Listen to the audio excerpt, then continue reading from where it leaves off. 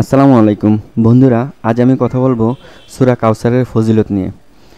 শত্রুর শত্রুতা ধৈর্য সীমা অতিক্রম করলে পূর্ণ পবিত্রতার সাথে নির্ধারিত স্থানে এবং নির্দিষ্ট সময়ে এক বৈঠকে একশো একবার বিসমিল্লা সহ এই সোরা পাঠ করবে এবং একখানা নতুন ইটের উপরে লোহার পেরেক দিয়ে এই সোরা তাবিজটি লিখে তাবিজের নিচে শত্রুর এবং তার মাতার নাম লিখে একটি পুরাতন কবরে ফেলে দিবে।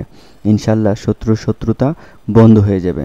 এবং সুরা কাউসার বিসমিল্লা সহ সাতবার পাঠ করে মাথার যন্ত্রণায় রোগীকে ঝাড়লে ইনশাল্লাহ মাথার যন্ত্রণা সেরে যাবে। ভিডিওটি ভালো লাগলে অবশ্যই লাইক কমেন্ট শেয়ার করুন। সবাই ভালো থাকুন। আসসালামু আলাইকুম।